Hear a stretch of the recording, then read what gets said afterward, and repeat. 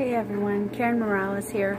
I just, uh, just a little bit ago, um, finished skimming through an article uh, talking about Dr. Hern, Warren Hern, who is an abortionist. He's 81 years old. And uh, it says something about that in the article. But anyway, I really didn't read through all of it completely. But uh, he had written a paper stating how humans are like a cancer and um, going on different things.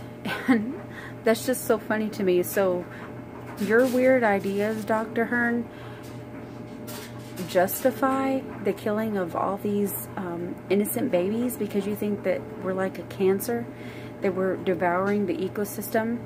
And the reason I say devouring the ecosystem is because in the article, uh, he called humans homo ecophagus, something like that, which means man who devours the ecosystem.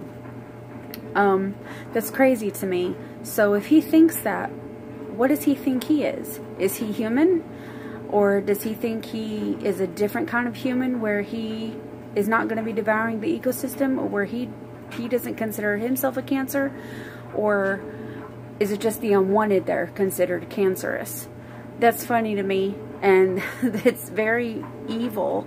I don't realize, you know, if you all watching this video or even if read if you've read that article how awful and evil that really is and that these ideas really can't be from a normal uh, state of mind or frame of mind thinking like that that's that's just crazy to me we all know that human beings human cells um, are not cancerous it's human DNA. And uh, whether you call it an unwanted pregnancy or not, it's not just a pregnancy. It is a life growing. So uh, it almost sounds like he's justifying himself.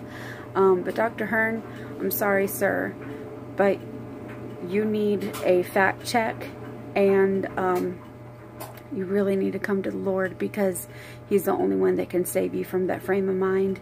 And He's the only one that can lead you into the truth and open up your spiritual eyes to uh, what you were really doing and um, also to the fact of how much God loves us and that we are His creation. And you don't realize that Satan is using you as a tool to destroy God's creation. Satan will do anything he can to get back at God, and he will attack the most innocent, and even go as far as using the people who are, are so deranged that he would use them as a tool to murder or to destroy other lives. You don't realize how he's using you, sir. You really need Jesus. You need to get out of this before it's too late. You are an older gentleman. You don't know how much time you have left. So I don't know if you would be watching this, but I hope everyone else that's watching this, even the pro pro-life and pro-choice, that you will think about why people make statements like that. And for the ones that were pro-choice, do you really stop to think about the reasonings of these abortionists and other people that support abortion? Or um, do you just support it just in the name of choice?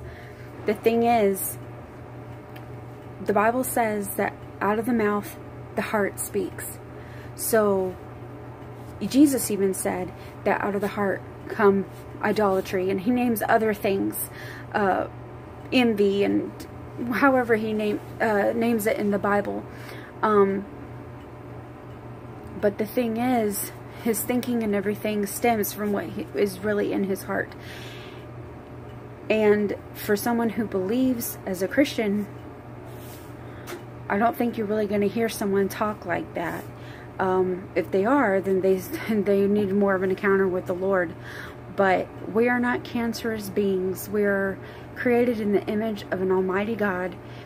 And um, we are far from cancerous. We are a beautiful life.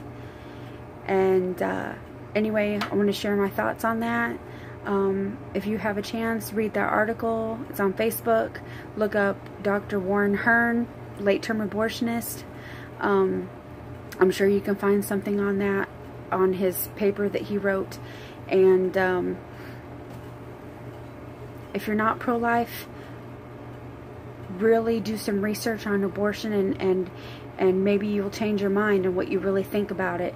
Look at videos, even though they're graphic. It really opens your eyes and, and makes you think, wow, what are they doing to our innocent babies? How could someone do something like that? And if that doesn't change your mind, well, may God help you. Have a good day.